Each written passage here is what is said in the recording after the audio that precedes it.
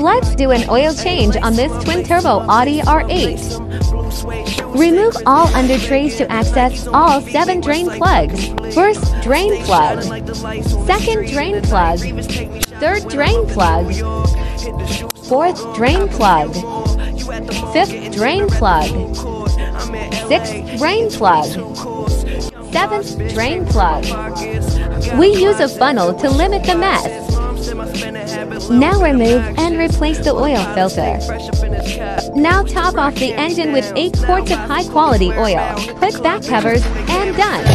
DM or call us for any of your exotic vehicles maintenance.